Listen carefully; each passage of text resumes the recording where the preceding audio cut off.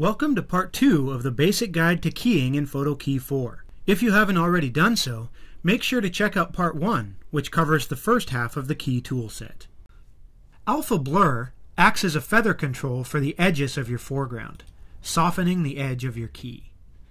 Small doses of alpha blur can at times be useful for improving the realism of a composite, or sometimes higher settings can be fun for creating interesting composite effects. Notice that as I, even though I've turned this all the way up, the detail in the center of our foreground is not affected by that blur.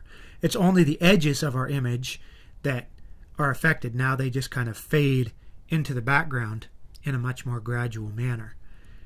And the reason for this is that the blur that we're applying is actually only blurring the matte or the alpha channel of the image. Here, if we switch back to matte view, you can see how soft that edge is now, where if I turn this back down, we did have a nice sharp edge, but then with alpha blur, we can just very gradually soften that transition from white to black in the matte, which results in a much softer edge to our keyed image. Crop tool enables you to very quickly trim the edges of your foreground image. To see why this would be useful, let's look at this example. Here, if I turn the keying filters off briefly, here's our original image. And you can see that on the right we have a light stand or something in the shot where it shouldn't be. And then on the left we can see the edge of the green screen and whatever was behind it is visible in our shot. So I'll reset this real quick. And that removes the green screen nicely, but then to remove those problems in the frame that we don't want, you can just take the crop tool and it gives you control over each edge of your image and you can just slide those edges in until whatever you are trying to remove is cropped from the frame, leaving just your subject in the middle. Spill suppression is often an essential tool for good green screen work. Green screen photos often suffer from color spill, which is when the green or blue of the background is reflected onto the subject, especially around the edges. Notice if I turn the spill suppression off, how much green is reflected into the edges of this subject's hair.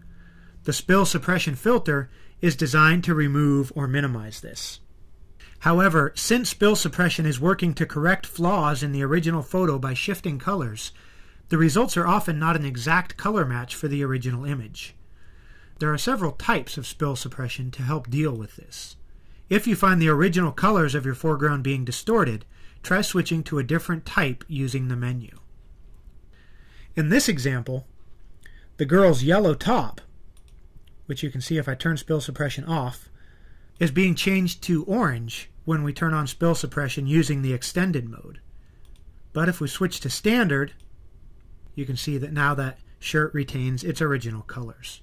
The only way to positively ensure an exact color match to your original image is to light your shots well enough that no spill suppression is required. Anytime you're using spill suppression on an image, there's a chance that it will result in some color shifting. The process menu will be discussed later in the tutorial dealing with masks. When working with masks, this menu gives you greater control over the colors in the masked areas. Light Wrap is an extremely useful tool which can greatly improve your composites. It allows the colors present in your background along the edge of your foreground image to bleed into the edges of the foreground, simulating the way bright light spills onto objects. The size of the light wrap can be adjusted to suit the scene or your personal preference. I'm going to turn it up a little bit more so you can more clearly see the effect it is having. So now look at the edges of the image here as I turn this effect off.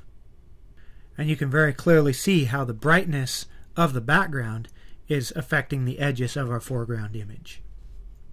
The blend mode can also be altered to create different looks or effects. For example, if I set this to add, you can see how it brightens those edges of the image even more. Light wrap can also be useful for hiding compositing problems with difficult source photos. Sometimes you may want to turn light wrap off while adjusting your key so you can see a more definite edge to your foreground. Hopefully this video has provided a clear explanation of how to use the various keying tools. Our next video will look at how masks can be used to improve your composites.